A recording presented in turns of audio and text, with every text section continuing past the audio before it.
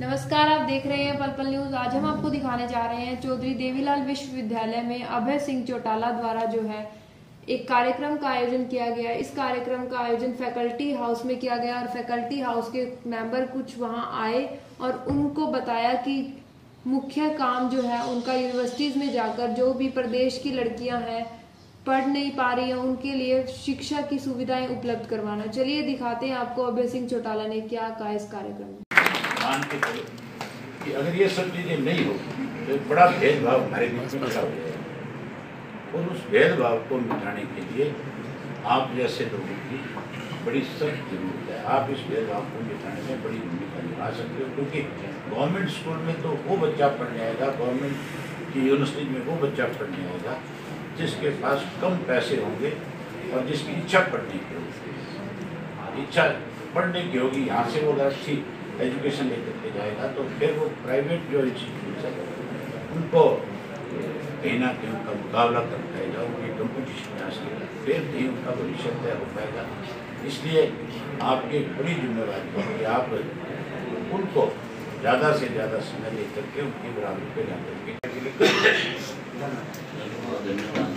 धन्यवाद एक positive energy आई है भाई साहब, आपके आने से मैंने एस के इशू को लेकर के पहले प्रदेश भर के लोगों में जाकर प्रदेश के लोगों में सुप्रीम कोर्ट के फैसले को कैसे लागू कराया जाए, इसके लिए एक लोगों में जागृति पैदा करने का काम उसी का नतीजा है कि आज हज़ारों लोग उस पानी की लड़ाई के लिए जहाँ पुरुष आते हैं, वहाँ उतनी ही संख्या में महिलाएँ भी आती हैं कि हरियाणा प्रदेश के लोगों के साथ न्याय हो। मैंने उसके साथ साथ प्रदेश भर के जो वकील हैं, उनसे भी जाकर के इस इशू पर बातचीत करी। उनसे भी कहा कि प्रदेश के हित की लड़ाई में आपको भी अपना एक बड़ा योगदान देना चाहिए। आज जहाँ एस की ज़रूरत है, वहीं हमारे बच्चों को ग्रामीण अंचल में जो पढ़ने वाले हैं उनको एक अच्छी शिक्षा की ज़रूरत है।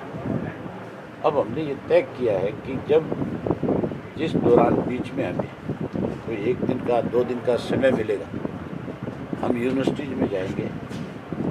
और यूनिवर्सिटीज़ के अंदर जहाँ बच्चों को सारी बातों की, कि एक बच्चे की क्या जिम्मेवारी है, उसके लिए हमने अपने एक इंस्टीट्यूट की विंग बना रखी जो जा करके, बच्चों के साथ बैठ करके इंटरेक्शन करके, उनकी अपनी जिम्मेवारी को कैसे निभाया जा सके, कैसी उनकी जिम्मेवारियाँ उनको लेकर के वो आगे बढ़े, कैसे बच्चों में अवेयरनेस पैदा करे कि बच्चा पढ़ेगा, कल को कल को उसका भविष्य क्या होगा, उसके बारे में तो उनकी जिम्मेवारी लगा रखी है, वो उनमें जा कर के चर्चा करते हैं।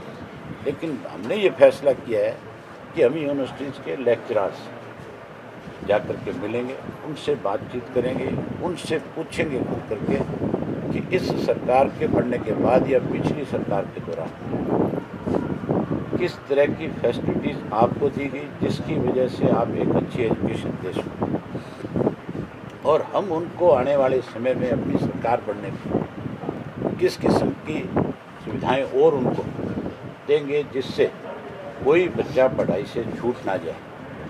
कोई बेटी ऐसी ना रहे जो अपनी इच्छा से अपनी एजुकेशन को पूरा ना कर सके। हम इसके लिए उनके साथ चर्चा करेंगे और उन्हीं से फीडबैक लेकर हमारी सरकार बनने के बाद उस चीज़ को लागू करेंगे ताकि भविष्य में आज जो हमारे सामने दिक्कत है, वो ख़त्म हो जाए। आज भी लिटरेसी में हरियाणा प्रदेश बहुत पिछड़ा हुआ है, जबकि हम दिल्ली के सराउंडिंग है।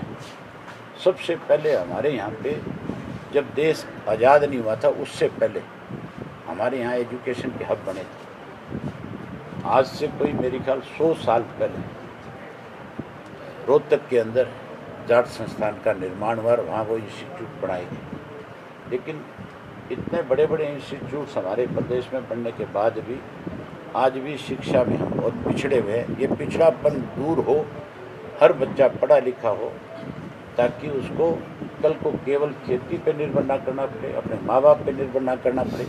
आने वाले समय में वो समय में अपने पैरों पे खड़ा होकर के अपने परिवार का पालन पोषण कर सके। इसके लिए हम इन्हीं शिक्षकों से पूछ करके पॉलिसी बनाएँगे और उस पॉलिसी के तहत एजुकेशन को आगे ले जाने का काम करेंगे। प्रदेश की सभी यूनिवर्सिटियों में इस तरह से कार्यक्रम सब यूनिवर्सिटीज़ में जाएँगे। सब यूनिवर्सिटीज़ में जा करके इंट्रैक्शन करेंगे सबके साथ, सबसे बातचीत करेंगे, सबसे पूछेंगे, सबसे फीडबैक लेंगे और उसी को आगे बढ़ाएँगे।